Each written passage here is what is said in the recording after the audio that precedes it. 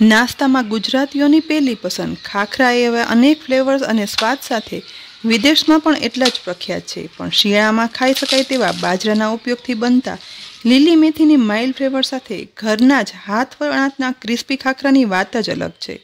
તો કિચન સિરીઝમાં આજે શિયાળામાં ઉપયોગી થાય ને તેવા ઘઉં, બાજરી અને મેથીનો ઉપયોગ કરી એકદમ ક્રિસ્પી ખાખરા બનાવશું. આ વિડીયોમાં આપેલી બધી માહિતી ફોલો કરી તમે આ ખાખરા પહેલી જ વખત બનાવતા હશો ને, તો પણ પરફેક્ટ ક્રિસ્પી બનશે અને સ્વાદમાં તો એટલા સરસ ને કે તમે બજારના ખાખરા લાવવાનું જ ભૂલી જશો.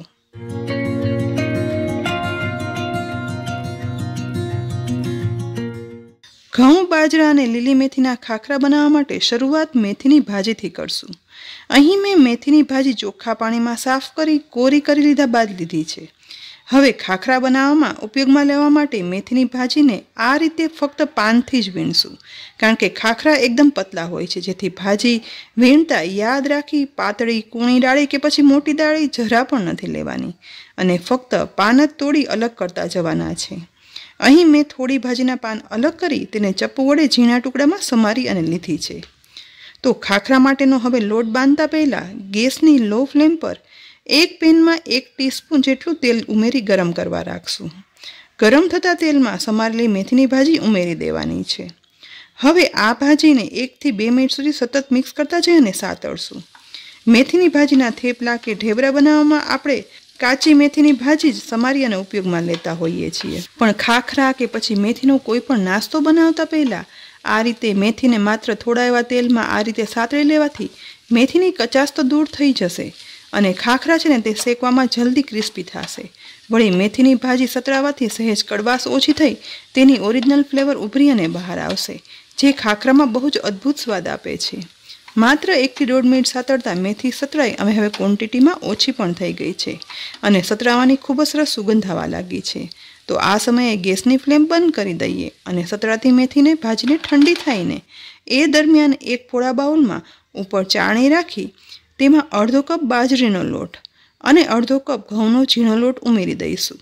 બંનેને સાથે જ ચાળી લેવાના છે. અહીં ઘઉં અને બાજરીના આ ખાખરા બનાવવા માટે આપણે બંને લોટનું પ્રમાણ છે ને તે એક જ સરખું રાખવાનું. બંને લોટ ચડાઈ ગયા પછી સાથળેલી મેથીની ભાજી પણ ઉમેરી દઈશું.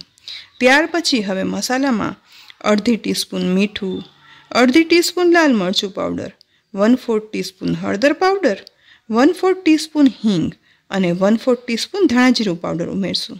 સાથે એક ટીસ્પૂન જેટલું તેલ ઉમેરશું. બસ, આટલા જ મસાલા ઉમેર્યા પછી હવે હાથ વડે બધું મિક્સ કરી દેવાનું છે. જેથી મેથીની ભાજી, મસાલા, લોટ બધું સરસ મિક્સ થઈ જાય.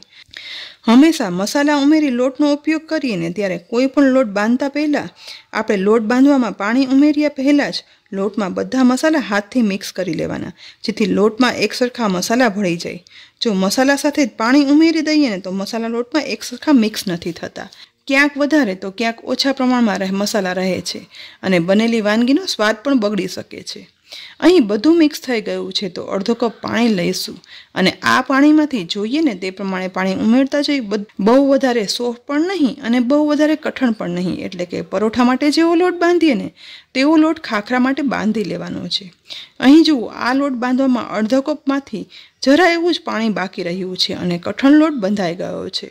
તો માત્ર અડધી ટીસ્પૂન તેલ ઉમેરી લોટને સહેજ એવું જ મસળી લેવાનો છે. ત્યાર પછી કિચન ટોવલ ઢાંકી અને લોટને લગભગ પંદરથી વીસ મિનિટ કુણાવા રાખી દઈશું. અહીં લોટ કૂણવવા રાખી લગભગ વીસ મિનિટ થઈ ગઈ છે અને બાજરીના કારણે લોટ છે ને તે થોડો એવો સોફ્ટ પણ બન્યો છે. ફરી માત્ર અડધી મિનિટ જ લોટને મસળી લેવાનો છે અને ત્યારબાદ નાના નાના લુવામાં લોટ અલગ કરી લઈશું. ખાખરા હંમેશા એકદમ પતલા જ વણાતા હોય છે. માટે આટલા નાના લુવા કરશો ને, તો પણ નોર્મલ રોટલીથી પણ મોટી સાઇઝના ખાખરા વણાશે. આટલા લોટમાંથી દસ લુવા બની ગયા છે. તો હવે વણવા માટે એક લુવાને ગોળ વાળી અને બાકીના લુવાને નેપકિનથી ઢાંકી દઈશું, જેથી બધા લુવા સુકાઈ ના જાય. ખાખરા વણવા માટે મેં અહીં બે પ્રકારના વેલણ લીધા છે. એક વેલણ જે હું રેગ્યુલર વાપરું છું તે અને બીજું સ્પેશિયલ ખાખરા વણવા માટે માર્કેટમાં આવું ઝીકઝાકવાળું વેલણ મળે છે. તો આજે ખાખરા વણવામાં વેલણથી ખાખરા વણશું. એક લુવાને કોરા લોટમાં બોળી અને પાટલી પર રાખી લુવાની કિનારી આ રીતે સહેજ વાળી લઈશું. અને ત્યાર પછી ખાખરાના વેલણથી આપણે વણી લેવાનું છે. ખાખરાના વેલણથી વણો કે પછી નોર્મલ વેલણથી?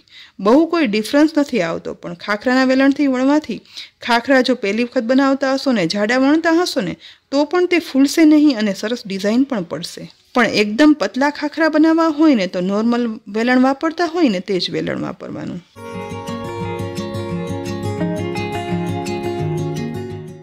કોરા લોટનો ઉપયોગ કરી અહીં આખું વણી લીધા પછી આખો હાથ આરપાર દેખાઈને તેવો પતલો ખાખરો વણી અને તૈયાર થયો છે. અહીં આપણે ઘઉં સાથે બાજરીનો લોટ વાપર્યો હોવાથી ખાખરાની કિનારી પણ એકદમ સીધી ના રહેતા સહેજ એવી તૂટેલી પણ થશે, પણ ઘઉં બાજરીના વણેલા ખાખરા આવા જ બનશે. હવે ખાખરાને શેકાવા માટે સૌથી નાની ફ્લેમવાળા ગેસની ફ્લેમ મીડિયમ કરી તેના પર તવો રાખી દઈશું.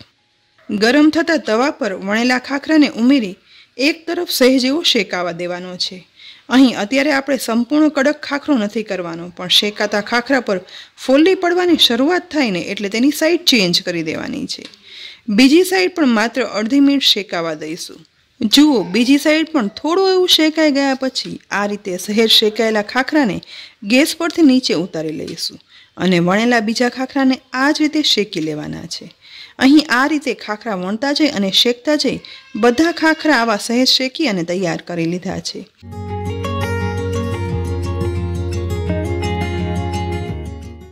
તો હવે આ ખાખરાને ક્રિસ્પી બનાવવા માટે ગેસની ફ્લેમ મીડિયમમાંથી સાવ લો કરી દેવાની છે. હવે ફ્લેમ પર તવો રાખી લગભગ વન ફોર ટીસ્પૂન જેટલું ઘી ઉમેરી અને ગરમ કરશું અને તવામાં ફેલાવી દઈશું. હવે સહેજ શેકેલા એ ખાખરાને આ રીતે તવા પર રાખી દઈશું. અને કિચન નેપકિન કે કોટનના કપડા વડે ખાખરાની કિનારી પ્રેસ કરતા જઈ અને ખાખરો શેકવાનો છે. કારણ કે કિનારી પ્રેસ કરતાં વચ્ચેનો તો ભાગ છે ને તે ઓટોમેટિક પ્રેસ થઈ અને ખાખરો વચ્ચેથી તો ક્રિસ્પી થઈ જવાનો છે. પણ કિનારી છે ને તે કડક થતાં થોડો સમય લાગે છે. અહીં કિચન નેપકિનના બદલે લાકડાના ડટ્ટાનો ઉપયોગ કરીને પણ ખાખરા શેકી શકાય છે. પણ ખાખરા ગોલ્ડન બ્રાઉન કલર સાથે, તેમાં પડતી ડિઝાઇન સાથે શેકવા માટે કપડાનો ઉપયોગ એકદમ સરળ રહે છે અને જલ્દી ખાખરો શેકાઈ પણ જાય છે. બેથી અઢી મિનિટ સુધી સાઈડ ચેન્જ કરતા જઈ અને સતત પ્રેસ કરતા જઈ ગેસની લો ફ્લેમ પર એક ખાખરો શેકાતાને લગભગ બેથી અઢી મિનિટ જેવો સમય થયો છે. અને ખાખરો શેકાઈ અને ક્રિસ્પી થઈ જશે ને એટલે તવાની સરફેસ છોડી આ રીતે ફેરવતા સરળતાથી એકદમ ગોળ ગોળ ફરવા લાગશે.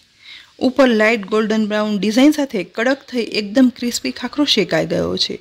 તો તેને તવામાંથી ઉતારી ડીશમાં ઠંડો કરવા માટે રાખી દઈશું. અને આ જ રીતે બીજા ખાખરા પણ શેકી લેવાના છે. આટલા ખાખરા શેકતા મને અડધી કલાક જેવો સમય થયો છે. બધા જ ખાખરા બની અને તૈયાર થઈ ગયા છે. એકદમ ગોલ્ડન બ્રાઉન કલર સાથે, એકદમ ક્રિસ્પી ઘઉં, બાજરી અને મેથીના અદ્ભુત ફ્લેવર સાથે બનતા આ ખાખરા બનાવવામાં ધીરજ તો જોઈએ જ છે, પણ એક વખત આ રીતે બનાવી અને ચાખશો ને, તો મેથીની ઓરિજિનલ ફ્લેવર અને ટેસ્ટના કારણે એટલા બધા આ ખાખરા ભાવશે ને કે તમે બહારના ખાખરા લાવવાનું ચોક્કસ ભૂલી જશો. ફ્રેન્ડ્સ, શિયાળામાં ઘઉં, બાજરા, મેથીની ભાજીના ખાખરા એક વખત જરૂરથી બનાવજો. ઘરમાં બધાને ભાવશે જ. અને અત્યારે ખૂબ જ ઉપયોગી નવા સ્વાદ સાથે આ ખાખરાની રેસીપી તમને કેવી લાગી? કોમેન્ટ બોક્સમાં લખી અને જરૂરથી કહેજો. રેસીપી જો ગમી હોય ને તો લાઇક કરી અને શેર કરજો. સાથે જ અમારી યુટ્યુબ ચેનલ સબસ્ક્રાઈબ કરી અને અમારા ફેસબુક પેજને લાઇક કરી અને ફોલો કરજો. જેથી આવી અનેક ઉપયોગી રેસીપીના અપડેટ્સ તુરંત જ મળી જાય. ફરી મળશું ઉપયોગી રેસીપી સાથે. ત્યાં સુધી આવજો.